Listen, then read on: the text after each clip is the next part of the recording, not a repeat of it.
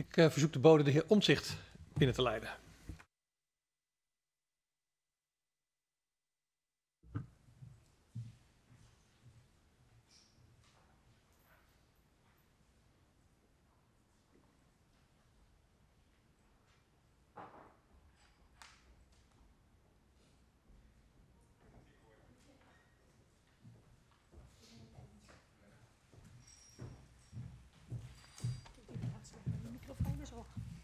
Goedemiddag, collega's.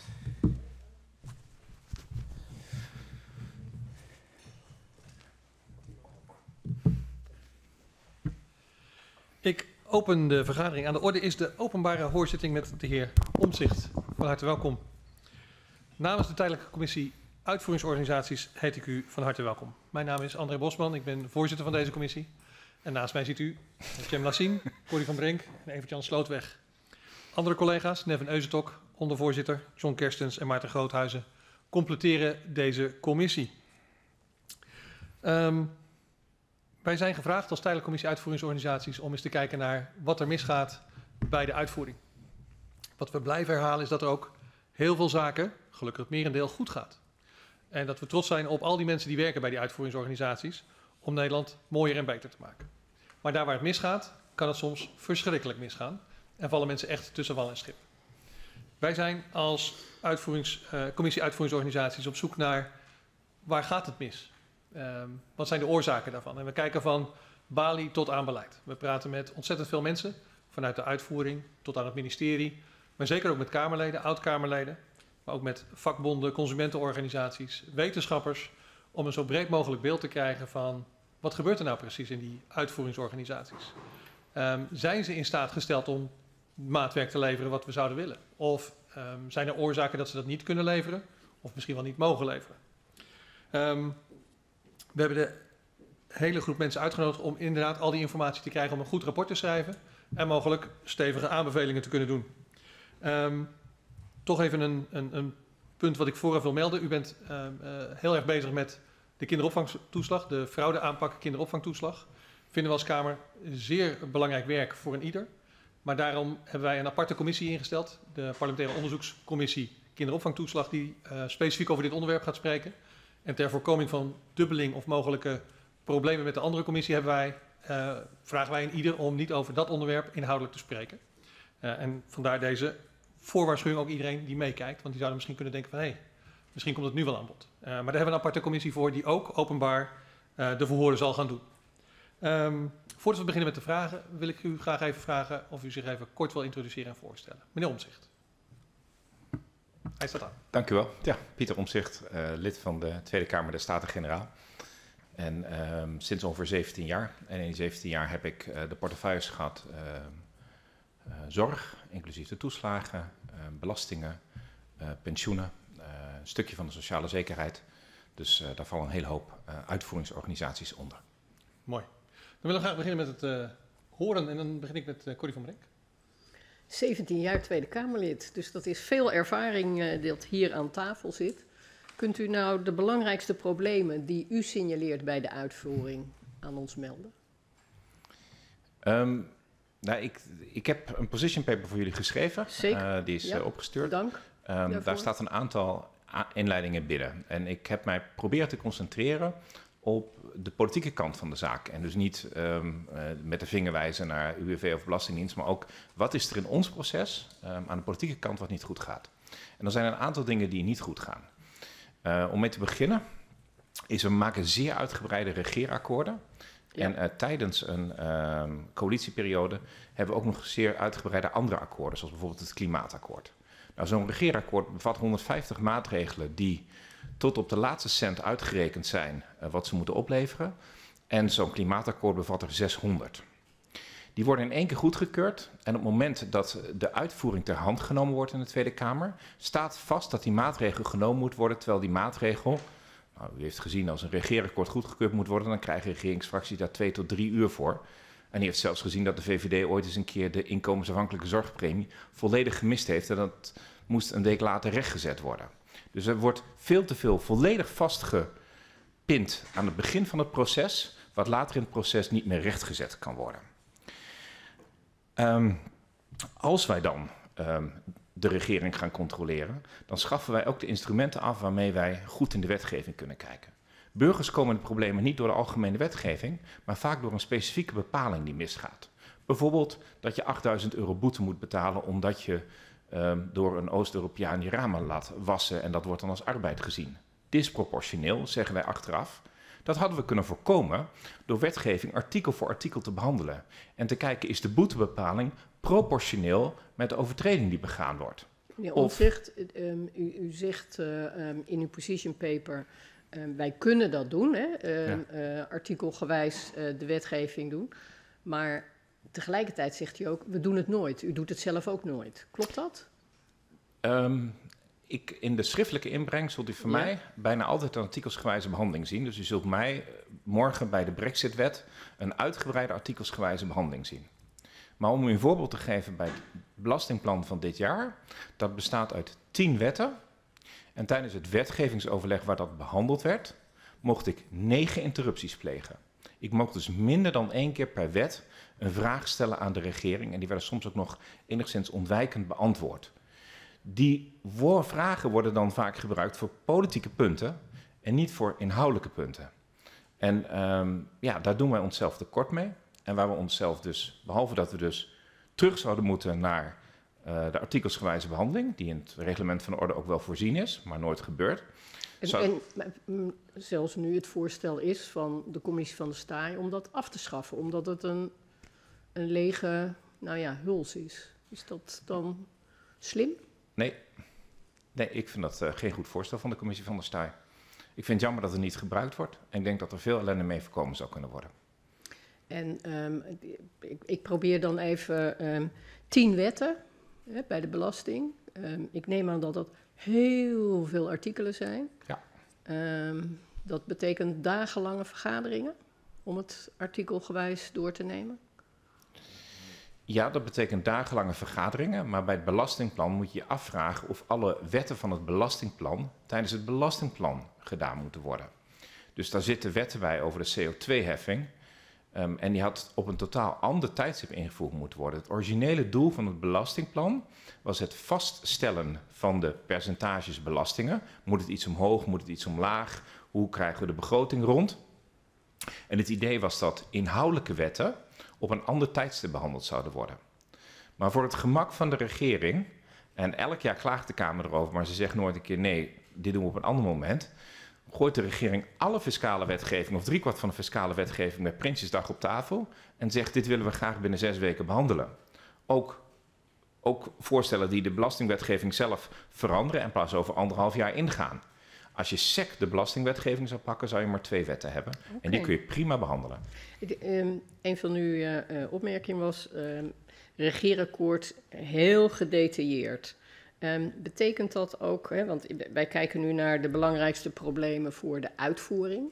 Betekent dat ook dat wij um, een, een, volgend regeerakkoord zouden moeten zeggen: um, dit is wat we graag zouden willen en uitvoering, vertel jullie maar hoe we dat zouden kunnen realiseren? Is dat niet een veel betere manier? er zou in ieder geval meer flexibiliteit moeten zijn dat wanneer er in het wetgevingsproces Zo'n regeerakkoord maak je in een vrij kleine kring. En het andere probleem is dat omdat we alle adviesraden afgeschaft hebben, um, onze politieke partijen nauwelijks meer denktanks hebben, het vaak allemaal uit het lijstje komt van het CPB, wat zogenaamd kansrijk beleid is. Dat is het beleid dat goed uit de CPB-modellen komt.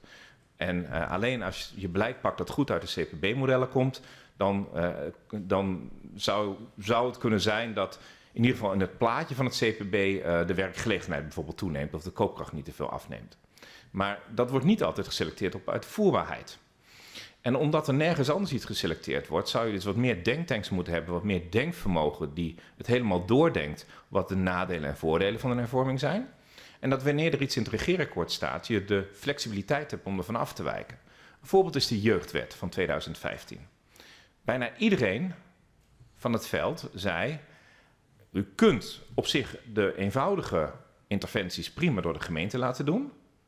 Maar de jeugd-GGZ en de intramurale jeugdgezondheidszorg, dat iemand opgenomen moet worden met een eetstoornis of een, een, een, een, grove interventie, die moet nu door de gemeente geregeld worden. Daar heeft de gemeente geen verstand van. Maar omdat dat letterlijk in het regeerakkoord stond, was niemand in staat om binnen die regeercoalitie te zeggen: zouden wij nog eens even nadenken of we dit nou wel verstandig vinden? En dan dendert zoiets volledig door. En u heeft gezien dat vorig jaar alle inspecties zeggen: dit is onverstandig. En dan gaan we dat nu terugdraaien, terwijl het voorzienbaar was bij de invoering. Niet alle problemen zijn voorzienbaar, maar dit probleem was voorzienbaar. Zeker. Ik uh, weet zelfs nog dat ik met een aantal professionals daar een gesprek over had met uh, um, iemand die daar een advies over zou geven aan de Kamer. Dus uh, um, dan worden die uitvoerders onvoldoende gehoord. En is dat niet ook een groot probleem dat onze Kamer te weinig praat met de uitvoerders, mensen van de werkvloer van die uitvoeringsorganisaties? Nou, wat wij doen is dan praten we meestal met de top van de organisatie. En daar zit ook een aantal problemen. Als we met de top van de organisatie praten, dan moet alles goed gepraat worden. Dus als er een werkbezoek voor Kamerleden wordt georganiseerd, is er werkelijk waar nooit een probleem te bekennen. En wordt er wel voor gezorgd dat de ambtenaren die kritiek hebben geen contact met Kamerleden mogen hebben. De Oekase kok is nog steeds van toepassing, zodat er geen rechtstreeks contact tussen Kamerleden en, en um, uh, mensen, uh, ambtenaren mag zijn. Nou, bepaalde van de mensen die jullie horen zijn helemaal geen ambtenaar. Die zijn ook heel bewust op afstand van de politiek gezet, zodat ze nog verder van die invloedssfeer vandaan zijn. Um, en dan heb je nog het volgende probleem, dat um, het een Kamer... Nou, uw, uw vraag was, moeten wij deze mensen meer horen? Ja, we moeten ze er meer bij betrekken. Maar dat betekent ook dat um, er meer geluisterd moet worden als de werkvloer een signaal afgeeft dat het niet gaat. En we hebben bijna al die uitvoeringsorganisaties en ministeries zo ingericht dat die signalen nooit doorkomen. Ik ga u toch het voorbeeld van de Belastingdienst geven. Als u een klacht heeft dat er iets mis is bij de Belastingdienst, bijvoorbeeld toeslagen, dan belt u de belastingtelefoon. Daar werken voornamelijk uitzendkrachten. Als uitzendkrachten moeilijk doen, worden ze ontslagen. Dus klokkenluidersbescherming, hou maar op. Als het dan doorkomt, dan gaat het die organisatie in. Maar dan is het maar bij uitzondering dat het bij het beleid terechtkomt of dat het goed verzameld wordt. En als de Belastingdienst zelf één keer door heeft dat er een fout, dat het niet goed gaat met de kinderopvangtoeslagen, wat ze in 2015, 2016 hadden, kwam het volgende probleem aan de orde: dat de Belastingdienst de uitvoerder is en het ministerie van Sociale Zaken de opdrachtgever en, de, en het geld houdt. Dus toen de Belastingdienst eindelijk overstag was en dacht: wij moeten toch iets doen aan die terugvordering in de kinderopvangtoeslag, toen is dat tegengehouden door het ministerie van Sociale Zaken, omdat die ministeries niet goed met elkaar communiceren en het niet over het probleem hadden. Dus um, we richten het hele stelsel zo in dat eigenlijk niemand in staat is om wanneer zich een flink probleem voordoet bij de uitvoering, en dat kan gebeuren, dat hij dan ook een doorzetmacht heeft, een doorzettingsmacht heeft om het daarna ook proberen op te lossen. Want als, als u dat. Um, Oké, er is een probleem bij een uitvoeringsorganisatie. Uh, hoe kan de Kamer dan bijdragen om dat op te lossen?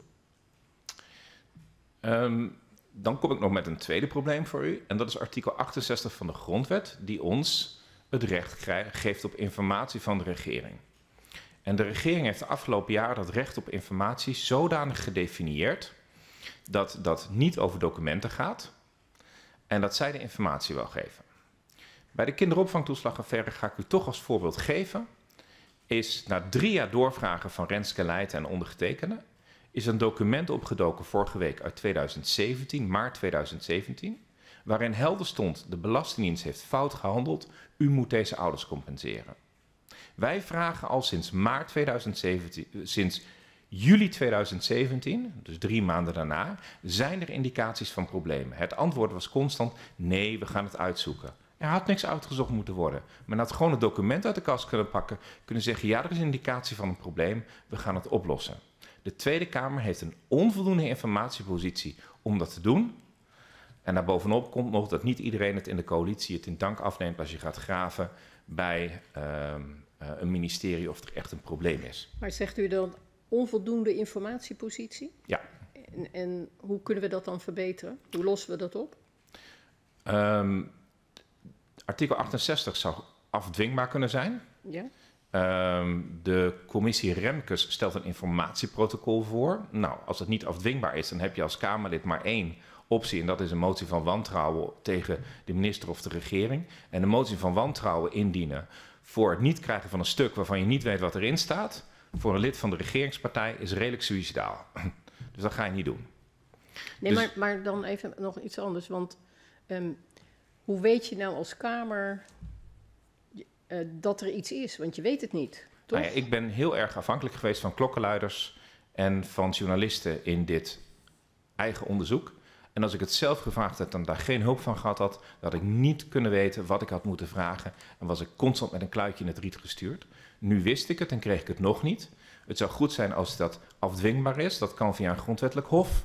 Dat kan via een andere manier, dus via de Kamervoorzitter om het af te dwingen. Maar een Kamerlid moet de documenten krijgen. Stelt u zich voor dat u een accountant bent en u moet bij een bedrijf gaan controleren. En dat bedrijf zegt: Vertrouwt u mij maar, de bonnetjes zijn er, maar ik laat ze u niet zien.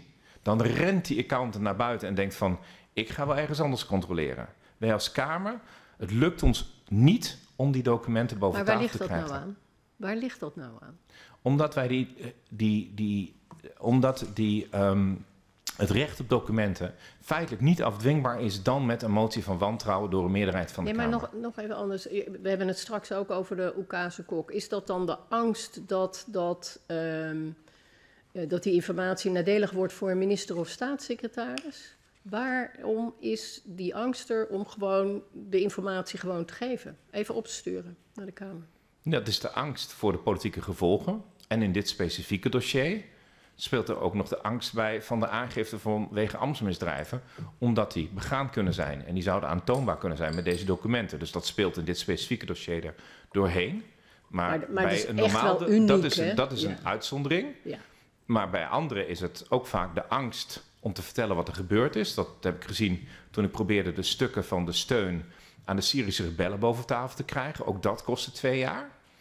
En daar was het eh, ook constant van, ja, hoe, hoe vertellen we nou niet wat er gebeurd is? Nou, bij de kinderopvangtoeslag konden ze het geen staatsgeheim verklaren, maar hier zat er militaire aspecten aan. En nou, het, het stempeltje staatsgeheim werd echt de hele dag uit de kast getrokken, zodat we er ook niet, eh, niet goed bij kwamen. En dat, is- dat is bescherming van de, van de minister, terwijl ja, eh, je veel beter gewoon open kunt zijn van waarom je bepaalde keuzes gemaakt hebt en waarom bepaalde keuzes goed uitpakken en waarom bepaalde keuzes soms En minder ligt goed het dan uitpakken. ook aan de Kamer? Ik bedoel, ik- zit de Kamer ehm, eh, met z'n allen te wachten als een stel pitbulls eh, van eh, kunnen we hiermee een, een minister aan het kruis nagelen? Waarom, waar zit dit nou in?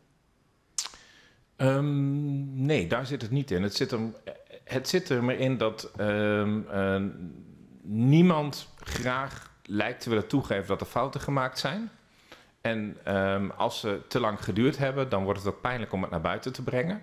En dan is er een cultuur van dat kunnen we binnenhouden. En die cultuur is dus zowel bij de WOP als een journalist of een burger stukken naar buiten wil halen. En wanneer een Kamerlid probeert die stukken boven tafel te krijgen of informatie boven tafel te krijgen, dan moet je vaak vragen, doorvragen, nog een keer vragen.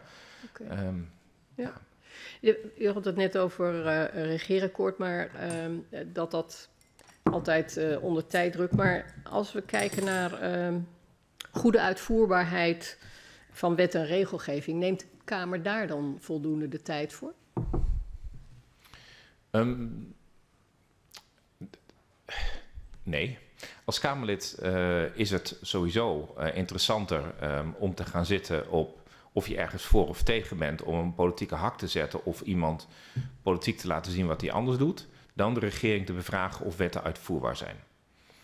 En eh, ik denk dat wij als Kamerleden soms te weinig doorvragen op de uitvoerbaarheid van wetten. Ehm, de Belastingdienst publiceert nu wel de uitvoeringstoetsen. Maar ehm, om nou te zeggen, de, de, zelfs als die uitvoeringstoetsen een rode vlag hebben, dus dat is eh, iets van we kunnen dit niet doen, dan nog leidt dat niet tot heroverweging van het wetsvoorstel. Waarom niet? Ehm, de, nou, om te beginnen blijft de regering het dan indienen. Dus het is heel gek, dan zegt de regering van handhaven toch het wetsvoorstel. En dan houden regeringspartijen elkaar toch vaak aan een politieke afspraak om iets in te voeren, terwijl ze kunnen vermoeden dat het niet goed gaat. En daarbovenop komt nog iets. Bijna elke wet in Nederland eindigt met de slotbepaling. Afzonderlijke onderdelen van deze wet kunnen op een afzonderlijk nader te bepalen tijdstip ingaan. En dat betekent dat er in de Nederlandse Tweede Kamer hele wetten behandeld worden die voor grote gedeeltes nooit ingaan en waar de Kamer nooit over geïnformeerd wordt dat zij niet ingegaan zijn. Dus ook de ambtenaren weten dat ze die wetten maken en hopen het dan pas na de goedkeuring in het parlement nog een keer recht te gaan zetten. Dat is eigenlijk geen nette manier van het maken van wetten. We hadden hier uh, uh, van de week ook uh, het UWV. En eh, vorige week was dat alweer. Um, en daarvan vertelden ze de uitvoeringstoets van de wet werk en zekerheid was 77 pagina's. En ik kan me best voorstellen dat er misschien op pagina 56 iets bijzonders stond, maar um, zie je het dan ook wel voldoende? In hoeverre vlooit u nou al die uitvoeringstoetsen door? De Belastingdienst maakt uitvoeringstoetsen die samengevat worden in een pictogram met op vier of vijf punten een rood, geel of groen vlaggetje met de uitvoerbaarheid, de handhaafbaarheid en dat soort zaken. En daaronder staat een tekst van maximaal vier pagina's en dat is heel prima te lezen. En um, we hebben ook hier toch wel eens mensen uit de uitvoering en die krijgen de indruk dat naarmate het hoger in de organisatie gaat, het, uh, um, het rode vlaggetje iets oranjeachtiger wordt en misschien helemaal zelfs wel groen eindigt. Dat ja. uh, zou zomaar kunnen. Is dat ook uw ervaring? Ja. Bent u daar dan ook voldoende kritisch op? Want groen, dan hoef je niet zoveel aandacht meer te besteden, toch? Ja hoor, ik heb verschillende keren mijn wet achteraf gevraagd. De wet is niet ingegaan, onuitvoerbaar en hier heeft u de uitvoeringstoets. Er stond niet het begin van een probleem in. Alleen als je dat gebeurt, Kijk, door die Oekase kok kun je niet met ambtenaren praten. En in principe moet je natuurlijk de informatie die de regering je opstuurt kunnen vertrouwen. En dan doet zich een probleem voor als het daar anders wordt voorgesteld dan het is. Um, um, want um, ik baal er al behoorlijk van dat u mij vandaag hier uitgenodigd heeft. Ik zit midden in het belastingplan. Ik heb de hele zaterdag en ik ben zondagmorgen om 8 uur met werken begonnen om alle stukken die er nog binnengekomen waren, om die te gaan lezen. Je werkt je een tien slagen in de rond op die tien wetten, omdat je wilt weten wat er gebeurt. En nog meer sinds de toeslagaffaire weet ik dat elke komma die daar verkeerd staat, een individuele burger keihard kan treffen. En um, dat betekent ook dat wij als Kamerleden in uh, vergelijking met onze Europese collega's relatief weinig ondersteund worden. Gemiddeld hebben we ongeveer twee ondersteuners. Nou, dat is op belastingwetten echt geen luxe, kan ik u verzekeren. Um, en je zit dus helemaal onder in het aantal stukken. En dit gaat om dus meer dan duizend pagina's die we de komende week gaan behandelen. Als ik bij elk van die pagina's zou moeten denken van zou dit kloppen, zou dit niet kloppen, dan kan ik mijn werk eigenlijk echt helemaal niet meer doen. Nee, dus u gaat er dan toch ook vanuit dat alle informatie die gegeven wordt correct is en dat de kritische punten door de regering ook naar voren gebracht worden, toch? Daar ga ik vanuit. Maar uw opmerking dat die niet altijd getrouw naar voren gebracht worden, die kan ik goed plaatsen. Ik gaf u net het voorbeeld um, van dat wetten die laatste slotbepaling hebben dat ze niet zijn ingegaan. De afgelopen week, na doorvragen, kwam ik erachter dat de wet die de invordering van toeslagen en belastingen moet harmoniseren, die wij in 2016 behandeld hebben, nog steeds niet is ingegaan. Dus iemand die een schuld heeft bij de Belastingdienst en bij de Belastingdienst toeslagen, wordt geconfronteerd met twee verschillende invorderingsregimes die niet met elkaar samenwerken. Nou, dan beland je beneden het sociaal minimum, dan gaat alles mis. Dus we hebben al jaren geleden gezegd dat moet u stroomlijnen. Nou, daar kwam die wet in 2016. En wat blijkt? Die wet is in zijn geheel niet ingegaan en ze proberen het opnieuw te doen en ze zeggen nu ja, is niet uitvoerbaar. En ik had zoiets, zo, en dat had u even niet eerder kunnen vertellen aan de Tweede Kamer? Dat u dit nog steeds niet gedaan heeft terwijl we de wet behandeld hebben?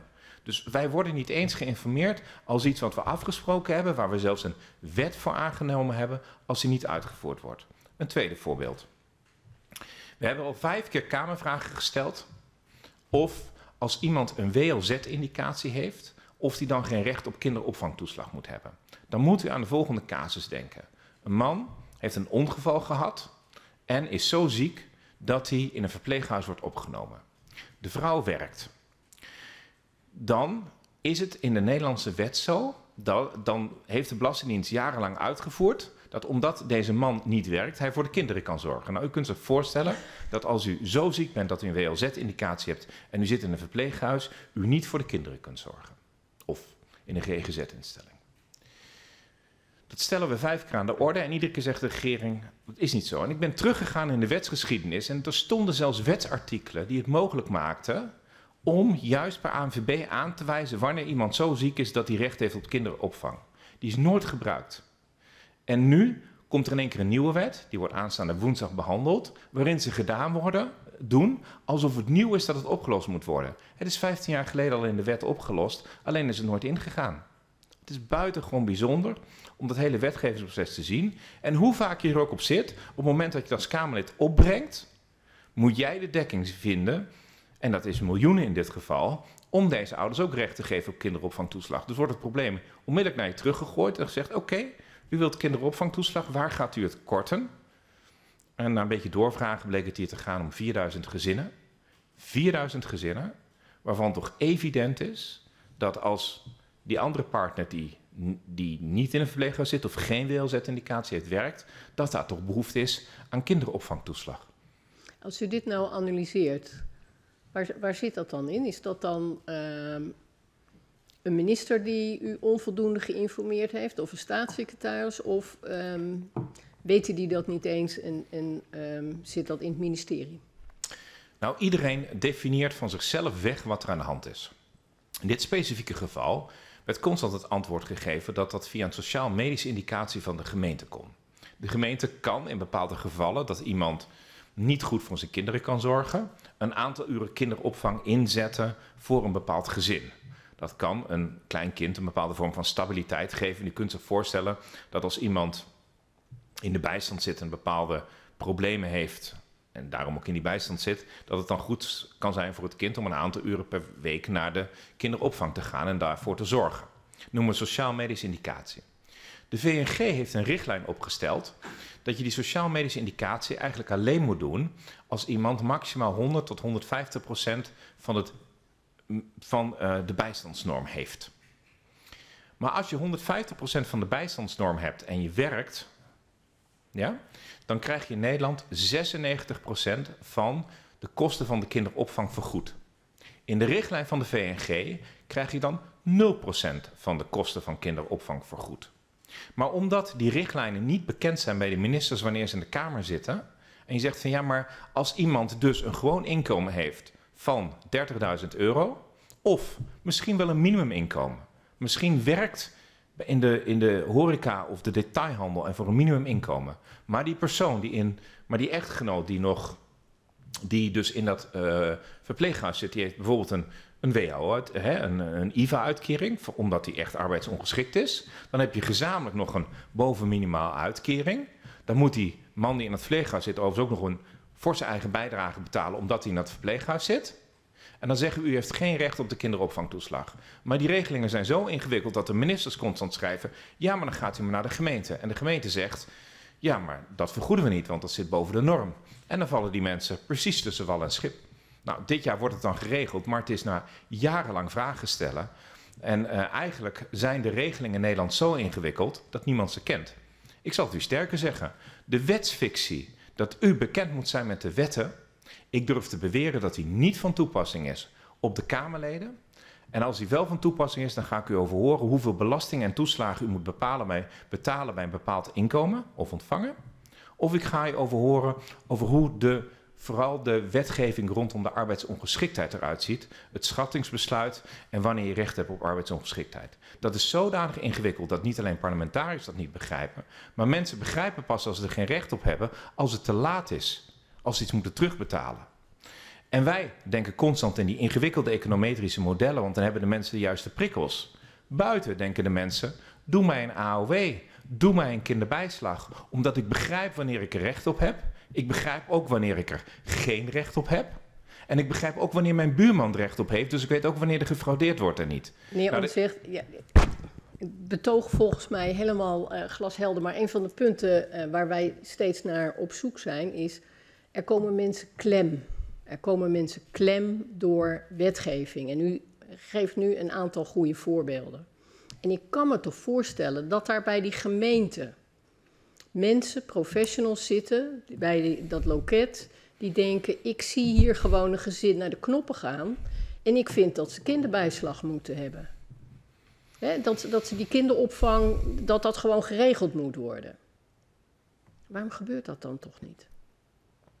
In Nederland heb je het probleem opgelost als je uitgelegd hebt dat je zelf niet 100% verantwoordelijk bent voor de oplossing van het probleem. Nog een keertje. In Nederland heb je een probleem als ambtenaar of politicus opgelost als je zelf kunt uitleggen dat jij niet de enige bent die verantwoordelijk is voor de oplossing van het probleem. En wij zijn heel goed om het probleem zo te beleggen dat niemand persoonlijk verantwoordelijk is voor de oplossing van een probleem. Maar die burger heeft er geen moer aan. Die burger heeft er werkelijk maar geen moer aan. En dat gebeurt in de sociale zekerheid. Dat gebeurt bij de aardbeving in Groningen. Dat gebeurt bij de kinderopvangtoeslag. En hoe gaan we dat nou oplossen? Sterkere Kamerleden die harder tegen de regering zeggen: dit gaat niet. Minder spoeddebatten. We hebben hier in Nederland ooit een spoeddebat in de Tweede Kamer gehad over Ooievaar Freedom, die op een vleugel gekortwiekt was. Daar gingen we Tweede Kamer wedstrijd aan besteden. Oké, stel we hebben allemaal, ehm, ehm, er komen allemaal Pieter Omzichtjes in de Kamer te zitten. Met, met 17 jaar ervaring, dat scheelt echt hele bergen dan eh, weer de helft vernieuwd. Absoluut waar.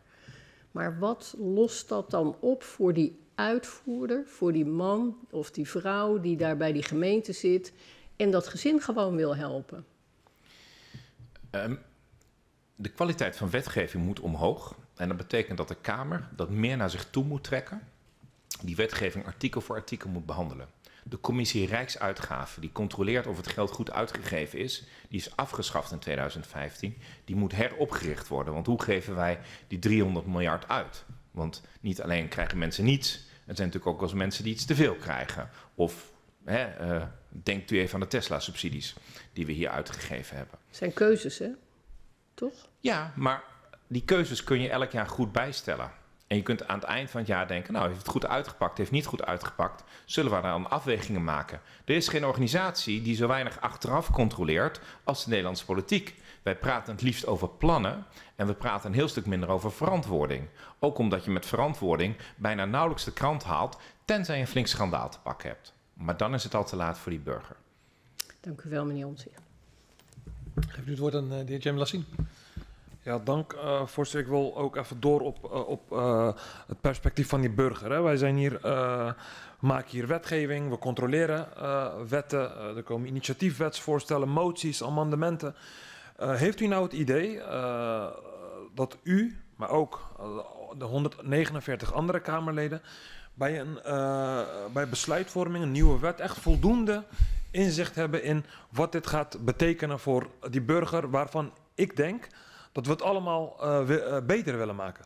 Nee, wij maken de wetgeving zodanig ingewikkeld dat wij hem vaak zelf niet begrijpen. En ik zal u het voorbeeld geven van koopkrachtplaatjes. In plaats dat wij sturen of de belasting rechtvaardig is, hè, is het redelijk wat iemand betaalt, sturen wij alleen op koopkrachtplaatjes. Dus krijgt een bepaalde groep er iets bij of gaat er bij een bepaalde groep iets af? Doordat wij dat jaar op jaar doen, is het in Nederland op dit moment zo, en ik ga nu een voorbeeld geven, dat ik heb laten doorrekenen door het CPB, dat een alleenstaande ouder, die ongeveer minimumloon verdient, en in een huurhuis van 600 euro woont, die houdt netto in de maand net zoveel over als een alleenverdiener, die in hetzelfde huurhuis woont, en dus zijn partner en twee kinderen moet onderhouden. Dus u heeft hier twee mensen die op een school werken. De ene docent is alleenstaand, alleenstaand ouder, werkt drie dagen in de week en verdient net iets meer dan het minimumloon voor die drie dagen per week werken. De buurman staat daarnaast in de klas, die werkt vijf dagen per week. En moet zijn gezin onderhouden, van een echtgenote die bijvoorbeeld niet kan werken, en twee kleine kinderen. En beide hebben ze netto precies zoveel te besteden, omdat er een alleenstaande ouderkorting is, een forse toeslag in het kindgebonden budget, de huurtoeslag is er aan de onderkant. Er wordt totaal, er wordt alleen gekeken naar het jaar op jaar koopkrachtplaatje, maar er wordt nooit de vraag gesteld: is dit evenwichtig? Vinden wij dit maatschappelijk een, een, een goede uitkomst? Die, die, stellen wij niet bij de belastingen. En uh, die balans, of het evenwichtig, evenwichtig is ja of nee, waar zou, uh, waar zou dat moeten blijken? Eh, er is een heel traject aan, eh, wat vooraf gaat aan wetgeving. Er zit ook de uitvoeringstoets bij. Op welk moment moet een probleem die u net schetst, eh, zou naar boven moeten komen, zodat wij daarop ook kunnen ageren? Ehm, wij moeten daar meer de tijd voor nemen in de Tweede Kamer, waar die uitvoeringsproblemen zitten. Ehm, wij zouden ehm, betere klokkenluiderbescherming moeten bieden aan de ambtenaren die ons wat vertellen. De ambtenaar die mij wat vertelde bij de kinderopvangtoeslag werd ontslagen. Slechts door een motie in te dienen die met 150-0 werd aangenomen, is het voorwaardelijk ontslag van deze meneer teruggedraaid. Dus als, en die man die zat zwaar in de problemen, die zag Hè, in die kinderopvangtoeslagaffaire zijn er mensen die zelfmoord gepleegd hebben. Mijn mailbox zitten daar meerdere gevallen bij in. Die ambtenaar die kon niet meer, die zegt dit moet ik, dit moet ik laten zien. Die had het in die regier laten zien en die komt een keer naar buiten. En het eerste wat er gebeurt, voorwaardelijk ontslag. Dat is waar we mee zitten. Dat moeten we beter doen. Dan, als we het echt serieus menen, moeten we zorgen dat de inspecties die we hebben, die kunnen zien of er iets misgaat, loskomen van het ministerie. We hebben die WODC-affaire gezien, waarin je ziet dat de ambtenaren van het ministerie de conclusies over wat er misgaat wegschrijven. Dat moet je onmogelijk maken. Dus je moet die inspecties of die onderzoekers, die moet je op afstand zetten. Misschien moet de Kamer zelf wel onderzoek gaan doen en bij de inspecties in de wet opnemen dat zij de inspecteurs kan horen, zoals u mij nu hoort, over wat er echt mis is met de wet en regelgeving. En wij zullen dus uh, met z'n allen echt meer tijd moeten uittrekken voor serieuze wetgeving. Dat is onze kerntaak. Ja. En minder tijd om, als u rechts bent, de telegraaf als zaterdagmorgen uit de bus te halen. En om vijf over zes morgens um, uh, een mailtje te sturen dat je Kamervragen wilt stellen. En als je iets linkser bent, misschien de Volkskrant. Maar dat is geen manier van controleren. Controleren is het moeilijke, harde werk tijdens het belastingplan. Ja. En, en overigens, het is ook journalisten een beetje aan te wijten. Ik werd twee weken geleden in de gangen gevraagd door de twee heren van de podcast van de NOS waarom ze mij al twee weken niet gezien hadden en of ik nog wel iets zinnigs aan het doen was. Mijn antwoord was nou, het belastingplan, wetgevingsoverleggen van 14 uur per dag. Er zit geen kip op de tribune en wij stellen de wetten vast hoe je 300, euro, 300 miljard euro belasting binnenhaalt volgend jaar. Jullie ook niet. En uh, best belangrijk werk en ik heb hier nog een paar problemen die ik u kan uitleggen. Het heeft de podcast niet gehaald. Want het was leuker om alle kleine relletjes in die podcast uh, te vertellen. Dat is herkenbaar. Uh, u geeft een aantal voorbeelden op mijn vragen, zoals betere bescherming voor klokkenluiders. Maar ik, ik, ik, ik zoek wat meer aan de voorkant. Hè? Want als, als ja. we het over klokkenluiders gaan hebben, dan uh, gaat er dus al heel veel mis. Wil iemand, hè, een ambtenaar van een willekeurige uitvoeringsorganisatie, aan de bel trekken? Maar de vraag is, denk ik, die wij ons alle stellen, is hoe kunnen wij nou aan die voorkant als we wetsvoorstellen behandelen, als we zelf een initiatiefwet uh, indienen, hoe kunnen we nou aan de voorkant die problemen in de uitvoering beter belichten, zodat uh, inderdaad aan de achterkant niet al die schandalen boven gaan komen. Fouten worden overal gemaakt, maar hoe kunnen we dat nou aan de voorkant beter, beter bo boven tafel krijgen, zodat we eerder kunnen ingrijpen? Dat is meer de vraag die ik u wil stellen. Ja, dat snap ik. En toch. Um denk ik dat een goede klokkenluidersbescherming daar een onderdeel van is. En ik geef ook even aan waarom. Als we weten dat het via klokkenluiders toch wel naar boven komt, dan heeft de top van die organisatie er ook meer belang bij om het tijdig aan de politiek te vertellen. Dus als het tijdig door de top verteld wordt, omdat ze weten dat ze niet onder het pet kunnen houden, is die dreiging van een goede klokkenluidersbescherming al voldoende om het eerlijker en duidelijker op tafel te krijgen. Het tweede is, wij zouden misschien wel eens een keer tegen een wet moeten stemmen als wij niet begrijpen wat er in die wet staat. Ik bedoel, begrijpen wij altijd wat er in die wet staat? Dan vraag ik door en door en door. Dan denk ik, ja, maar wat bent u hier nu van plan? En um, um, als we het niet begrijpen, zouden eens een keer moeten zeggen tegen de regering: gaat u naar huis totdat u het goed kunt uitleggen. Of totdat u uh, um, een, een nota van wijziging op die wet heeft ingediend, waardoor die een stukje uitvoerbaarder wordt. We moeten ons wat minder laten opjagen als Tweede Kamer om een bepaald tempo van wetgeving te handhaven. Hoe, hoe zouden we dat kunnen doen? Eén, Eén uh, optie is natuurlijk alles zelf doorakkeren, wet voor wet, artikel voor artikel.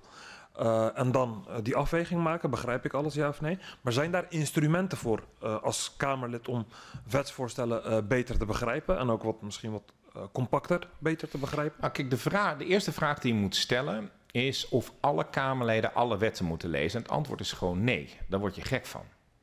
Dus je zou in de. Kijk, in de oude. Als je 30 jaar geleden in de tijd teruggaat. had je drie grote partijen in de Tweede Kamer. die samen 130 zetels hadden. Die hadden specialisten. En op het moment dat drie specialisten van partijen. twee van regeringspartijen, één van de oppositie. alle drie het goed doorvlooien en zeggen van. dit klopt. dan heb je een aardig beeld of iets uitvoerbaar is of niet uitvoerbaar is. En geloof mij, ingewikkelde wetgeving in Nederland is heel snel doorgevoerd. De BTW heeft, is in negen maanden in dit land ingevoerd in de wetgeving. Omdat die eenvoudig gehouden is. Nu hebben wij veel te veel partijen. Het probleem zijn niet de kleine partijen. Het probleem is het ontbreken van grote partijen met kennis van de materie. Want het is voorwaar niet gemakkelijk om te begrijpen wat de invloed van een bepaald wetgevingsartikel is op de onderwijspraktijk of op de belastingen of of het uitvoerbaar is door het UWV. Daar heb je kennis voor nodig. Daar heb je mensen voor nodig die 20 jaar belastinginspecteur geweest zijn. Er is geen enkele fiscalist in de Kamer. Ja, er is er eentje bij de VVD, maar die is geen woordvoerder.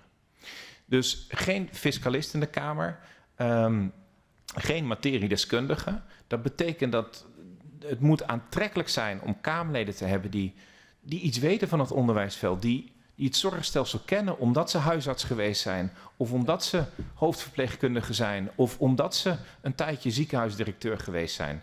De, die maatschappelijke kennis. Ik heb bijvoorbeeld erg veel gehad aan debatten toen ik in de Tweede Kamer kwam, dat ik samenwerkte met Saskia Norman en El. Niet omdat ze thuis had meegekregen, maar omdat ze een aantal jaren directeur van een sociale dienst geweest was. Dus die wist donders goed als je iets met de sociale zekerheid deed, waar het pijn ging doen. En nu denken wij als partijen dat elk Kamerlid alles kan doen. Nou, uh, de doorlooptijd. Dus we hebben A, kleinere fracties. B, aan het begin van de periode was de zittingsduur van een Kamerlid gemiddeld 7 tot 8 jaar in de jaren 60 en de jaren 80. Dat is gezakt naar 3,5 jaar. Dus wij zien dit ook, veel Kamerleden zien dit als een doorgangshuis. Het is niet erg dat niet iedereen hier lang blijft, maar het institutioneel geheugen van de Kamer is kort. En op één specifiek probleem is dat nog ernstiger en dat is Europese wetgeving. Meer dan twintig jaar geleden worden wetten bepaald door de wetten die in Europa worden vastgesteld. Dat is een langer traject. Dat begint met een witboek en een groenboek. De Europese Commissie consulteert. De Europese Commissie doet dat feitelijk netter dan de Nederlandse regering. Meneer ik ga u even onderbreken, want ik, ik, kijk ook een beetje naar de tijd. Uh, en ik denk dat uw punt op dit punt gewoon heel duidelijk is. Hè? De, kennis en expertise, die uh, raakt heel snel verloren uh, in de Kamer. Daar geeft u ook voorbeelden van, Europese wetgeving ook. Heel belangrijk. Waar ik wel benieuwd naar ben, is, u, zit er, u zit er zelf al redelijk lang, al zo'n jaar of 17. wat u heeft waarschijnlijk ook tientallen, wellicht honderden uh, uh, amendementen ingediend. Uh, en de Kamer heeft er wel eens een handje van om last minute, voordat de wet ingaat, nog een amendement in te dienen. die dan, bij wijze van spreken, over een maand al uitgevoerd moet worden. wat doet u zelf om een amendement die u indient. Te toetsen aan de uitvoerbaarheid? of dat kan ja of nee? En zo niet, weerhoudt het u dan ook om hem in te dienen? Amendementen zijn over het algemeen relatief kleine wijzigingen, vaak voorhangen. En in de belastingwetgeving is er de mogelijkheid om ook een uitvoeringstoets op een amendement te krijgen. En op dit moment ben ik al twee maanden in onderhandeling met het ministerie om een uitvoerbaar amendement te krijgen.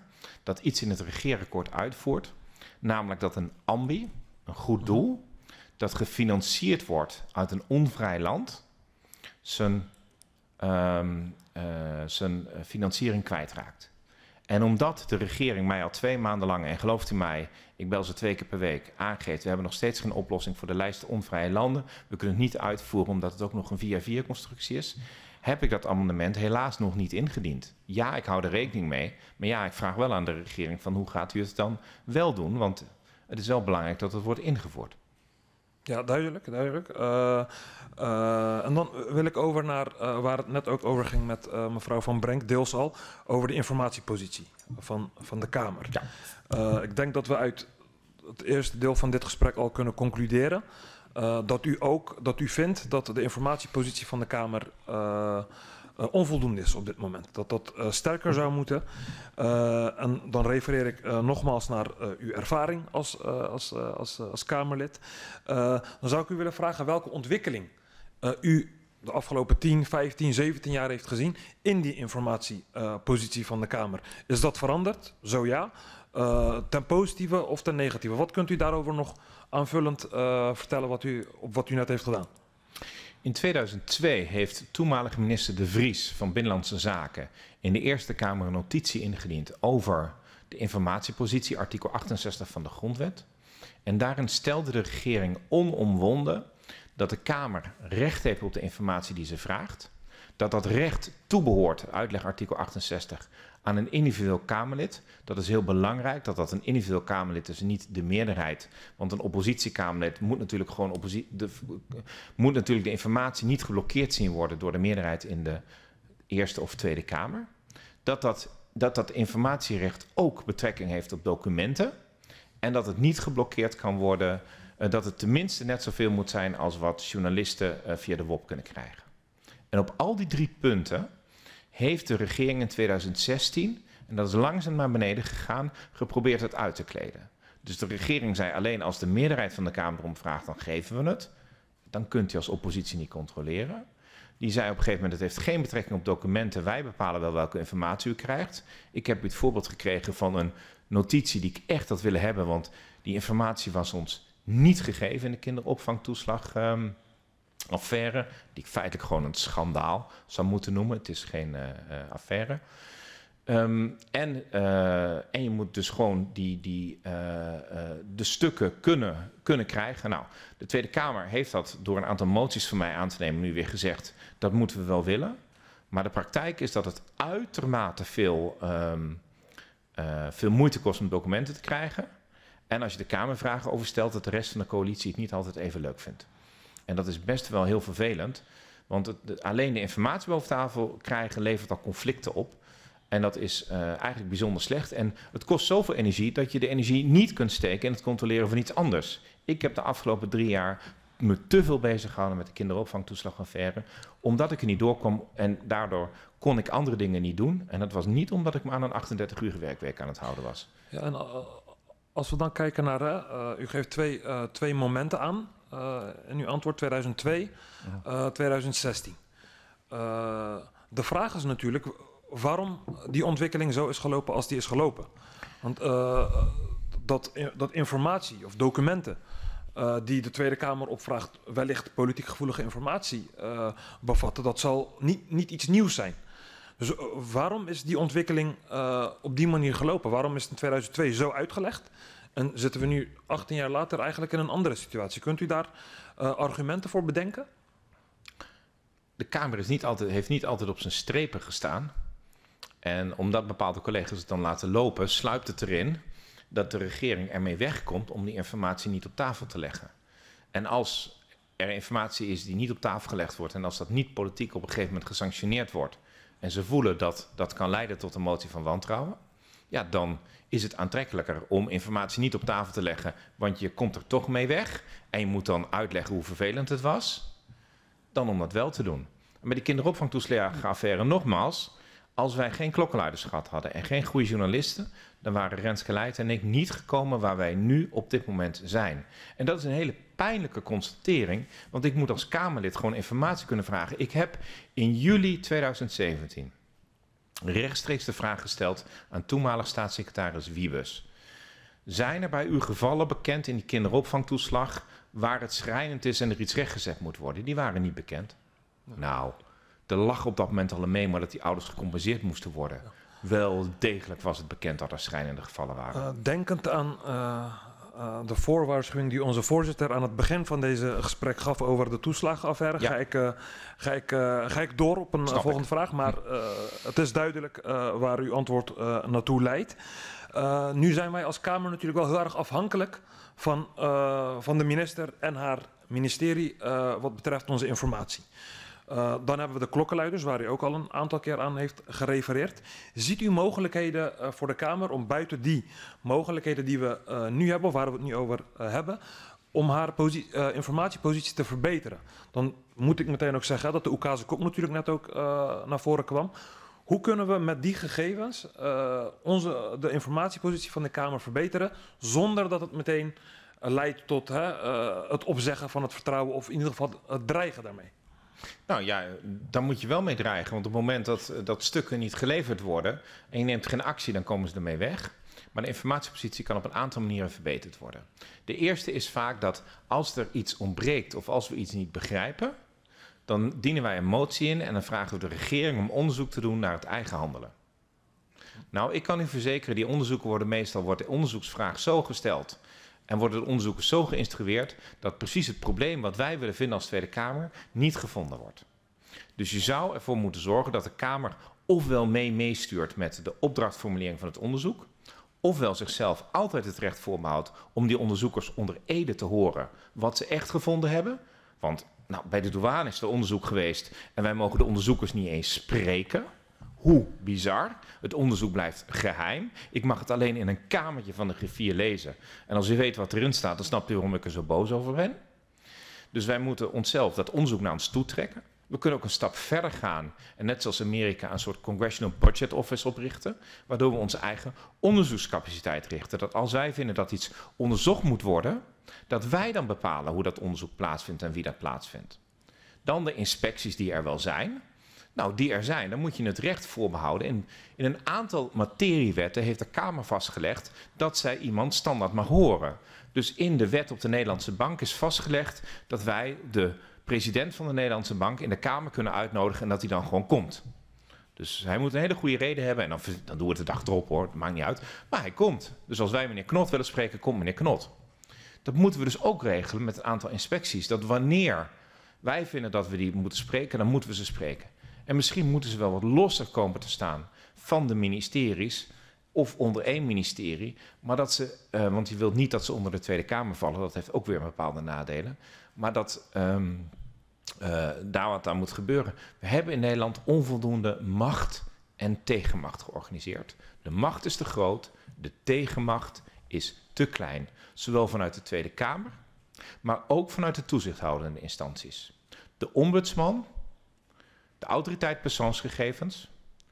De autoriteit persoonsgegevens heeft tot de dag van vandaag met alle zwarte lijsten, dat is een ander best heel na dossier bij de Belastingdienst, nog steeds geen enkele boete opgelegd.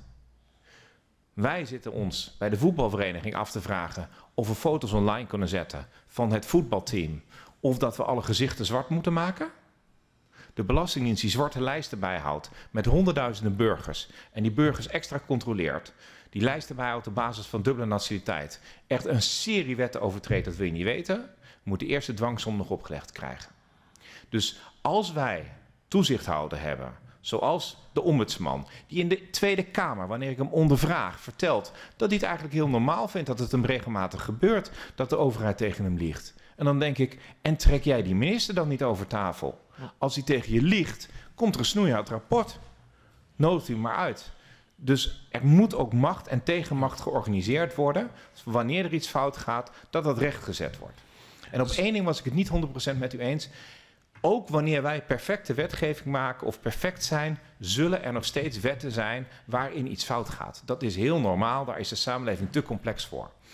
Als je je dat gewoon realiseert en je vindt een manier om dat zonder al te veel politieke um, gedoe gewoon recht te zetten, dan is dat voor iedereen te prefereren. Als iemand gewoon kan zeggen, na een jaar of twee jaar, dit werkt niet helemaal goed, ik wil deze twee dingen wijzigen, daar zouden wij wel eens iets meer clementie voor kunnen hebben. Ja. Nee, helder. Uh, zou het uh, we hebben hier de afgelopen drie, uh, drie hoorzittingsdagen hebben wij drie verschillende uitvoeringsorganisaties gesproken. Van, van Bali tot aan de, de SG. en we hebben heel vaak te horen gekregen, het zou, het zou ons ook gewoon helpen als, als de Kamerleden gewoon wat vaker met, met de mensen kunnen praten. Nou, nu staat die Oekase Kok daar een beetje in de weg. Maar vindt u het ook wenselijk dat, wij, dat de Kamerleden gewoon wat vaker en op regelmatige basis, niet alleen als er iets naar voren komt op het nieuws, wat regelmatiger en op, op, ook op de goede momenten gewoon met mensen in de uitvoering kunnen gaan praten, zonder dat dat per se via het ministerie moet? Ik zou het wenselijk vinden. Ik heb aan mijn bureau trillende douaniers gehad, die niet me hielden en mij dingen wilden vertellen. En doodsbang waren, want ze wisten dat als de chirurgie erachter zou komen, dat ze ook maar twee woorden met mij gewisseld zouden hebben, dat ze dan ontslagen zouden worden.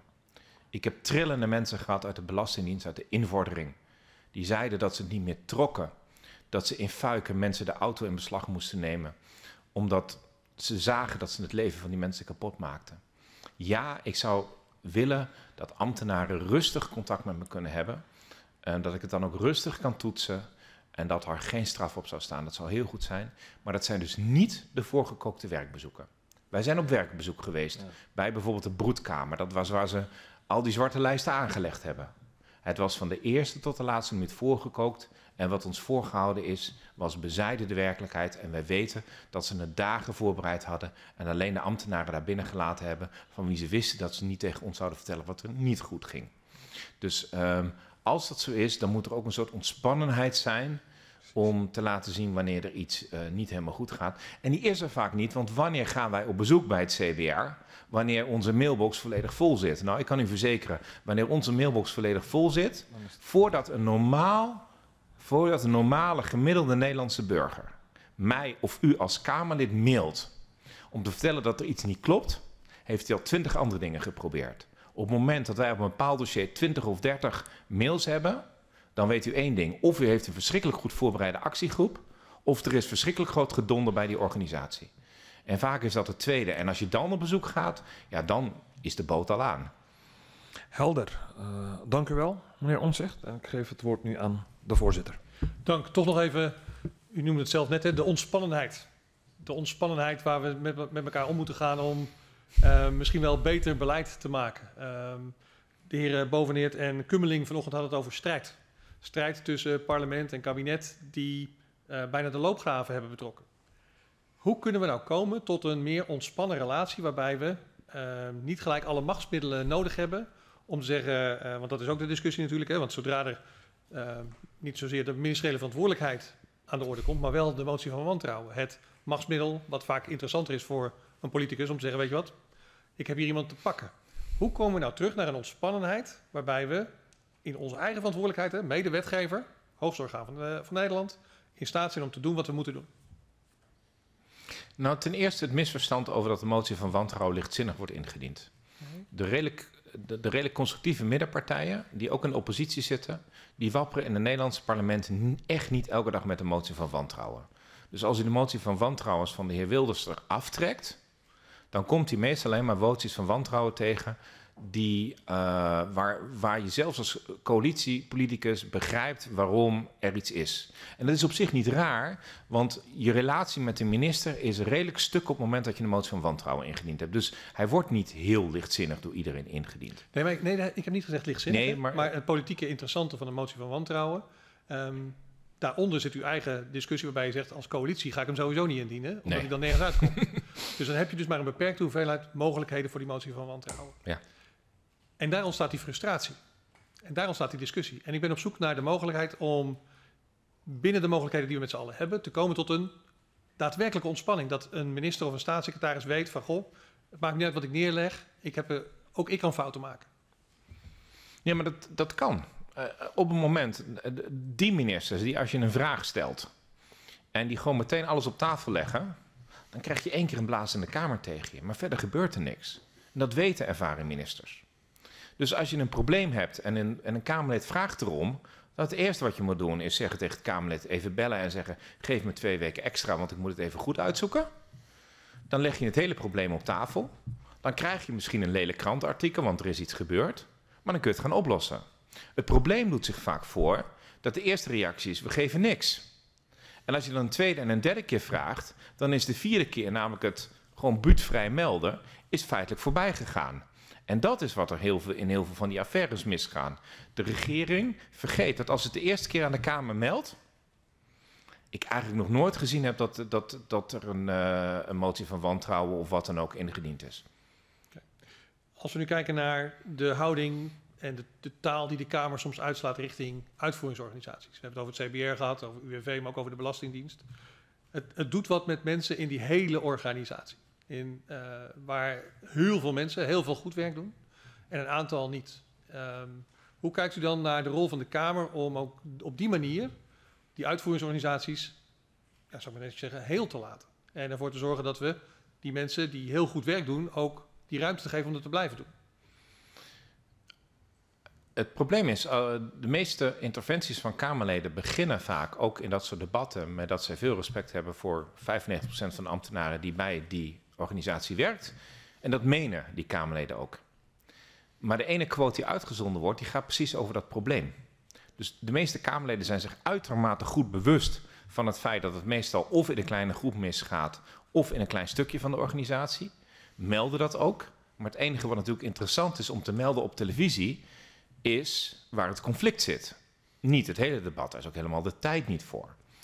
Um, en dat maakt het uh, best lastig. En er is in de Kamer veel respect voor um, hoe um, uitvoeringsorganisaties onder vaak moeilijke omstandigheden op dit moment, joh, je zult maar bij het, bij het CBR werken en de Rijksavond moet afnemen in coronatijd. De Belastingdienst moet het oplossen terwijl ze elkaar niet zien. Ik bedoel, het is al heel wat dat wij hier met z'n vijf bij elkaar kunnen zien. Dat wordt heel erg gerespecteerd. Alleen op het moment dat je dat uitspreekt, is het een totale irrelevante zin voor hetzij de kranten, hetzij de televisie, hetzij wat anders. En dat maakt het best wel lastig om, uh, om dit te doen. En vergeet niet, de meeste Kamerleden worden niet kwaad na één keer.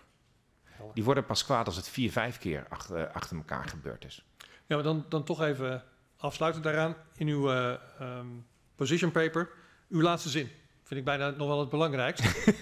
Te veel onderzoekscommissies van de Kamer hebben schitterende rapporten geschreven, die daarna helaas maar zeer ten dele zijn uitgevoerd.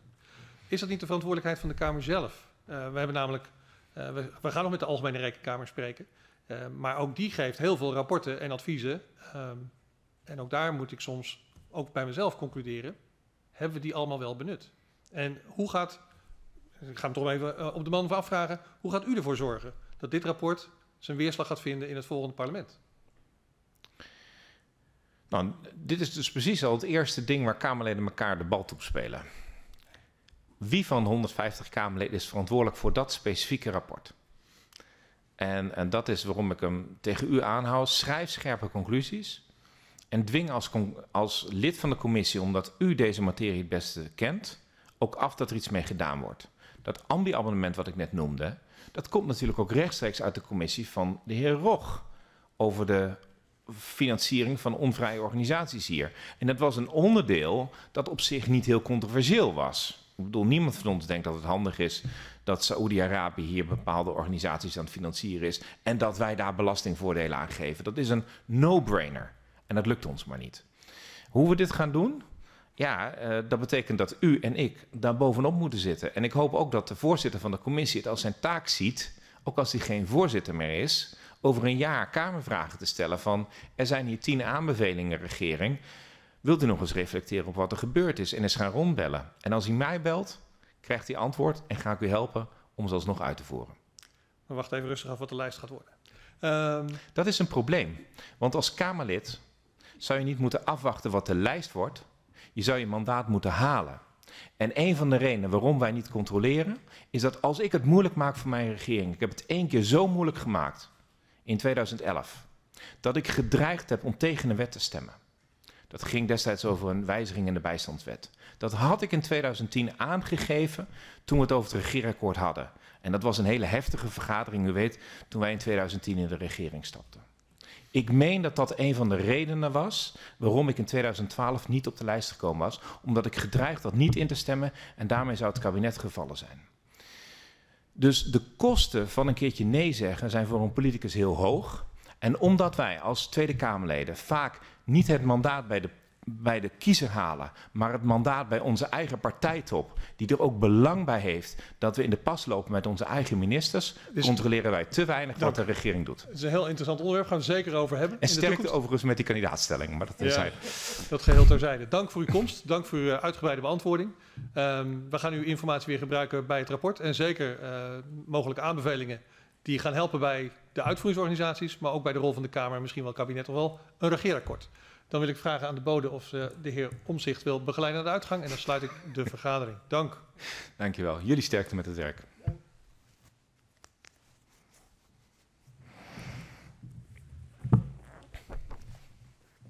Dank en uh, tot ziens. Sterkte met jullie.